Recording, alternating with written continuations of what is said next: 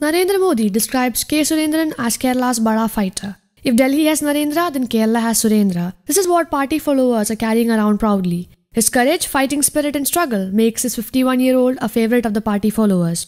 A native of Ulliyeri in Kozhikode district, K. Surendran has been an active member of RSS from a much younger age.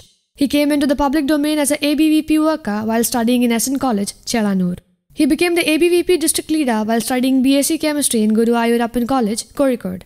At that time, V. Muraleedharan was a state party secretary. He had fought against disorders in the Calicut University and worked for student welfare by leading many student protests. He was a full time worker of ABVP in Palakkad. Later, he served as a manager in an estate in Wayanad. Once Surendran had spoken in place of KG Marar in a party program in Koyilandy as he was late. Later, Marar himself brought him to Yuva Morcha discussions. He has won the titles of Yuva Morcha, District Secretary and President of Wayanad, State Secretary, President, and BJP State General Secretary. His active participation in the Kovalam Palace protest corruption and other protests made him prone to police oppression and imprisonment. His agitations during the entry of women in Sabarimala made him a thorn in the LDF government's eye and the dear one of the devotees. Surendran has a close relationship with the central minister, V. Muraleedharan, which also made him a favorite of higher leaders of the party, including Narendra Modi, Amit Shah, JP Nadda, and BL Santosh. He lost the 2016 assembly election Manjeshwaram by a narrow margin. From Kasaragod and Pathanamthitta during the Lok Sabha election and in the 2019 Konni Assembly by election, he had shown excellent performances.